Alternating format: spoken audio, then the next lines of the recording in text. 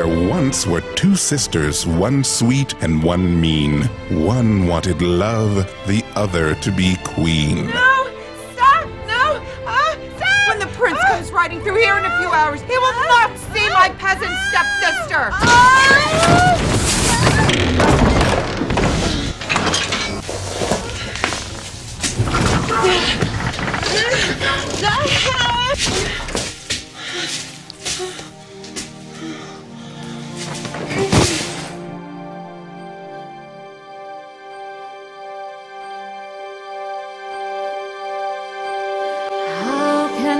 get his attention? How can I let him know? What can I do? Not to mention, I'm locked in with nowhere to go.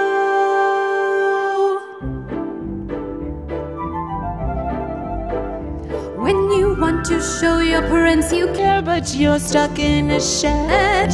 Think of something you can share, like no one else. Just take a look.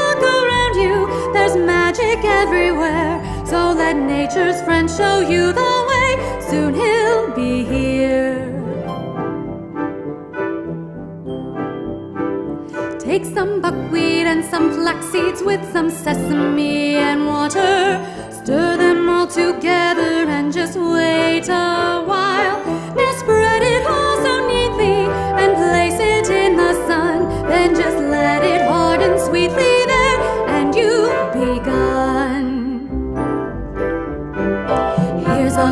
lovely avocado and some maple syrup to slice and mash and mix this good and spread it neatly and you're through. A delicious pomegranate and these lovely figs and berries. Anything you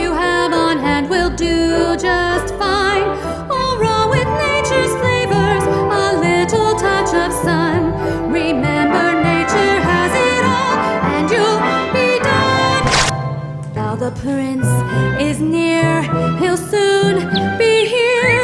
So fly. They flew as fast as their little wings could fly to the prince, who was startled but willing to try. All it took was one bite from this fruity delight for the prince to quickly reply. Wow, is that avocado in there? It's as sweet as honey. Whoever figured this out? This is the girl I want to marry.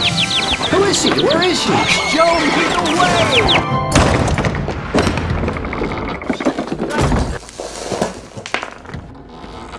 He made her a princess, and in return, her food gave them everlasting youth. They outlived everyone in the kingdom through the magic of nature's truth. Now our life is filled with love and light from nature's endless bounty. We're never sick, immune to every evil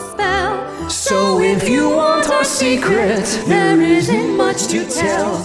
So listen to our simple ways. Just follow nature all your days. Your heart and soul will be ablaze with, nature's magic power. Let's never stop being this way. They were so healthy and full of laughter, they truly lived happily ever after.